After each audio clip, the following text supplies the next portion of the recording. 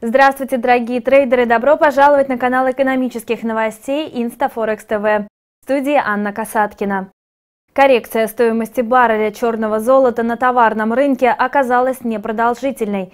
В ходе боев в Ливии один из крупнейших экспортных терминалов оказался в огне. Пожар уничтожил порядка 800 тысяч баррелей нефти. Новость об этом помогла ценам немного скорректироваться. Аналитики спрогнозировали флетовое движение котировок Brent около отметки в 60 долларов, а WTI в диапазоне 55-56 долларов за баррель. Однако такие прогнозы оказались слишком оптимистичными. Начало европейской торговой сессии трейдеры североморской нефтяной смеси марки Brent встретили с медвежьими настроениями. Цена не удержалась выше отметки в 60 долларов США за баррель. Власти Ливии, учитывая текущие условия, просят наценку, но пока инвесторы остаются глухи к таким просьбам.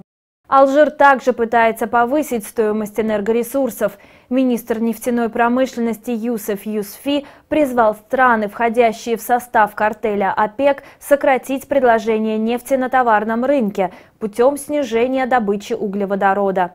Но пока обращение остается без ответа.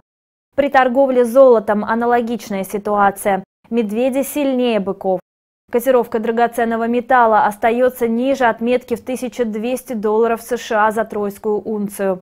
Последние макроэкономические отчеты Соединенных Штатов не дают расслабиться американскому доллару. Ожидание повышения процентной ставки Федрезервом увеличивает спрос на доллар США, оказывая давление на котировку золота.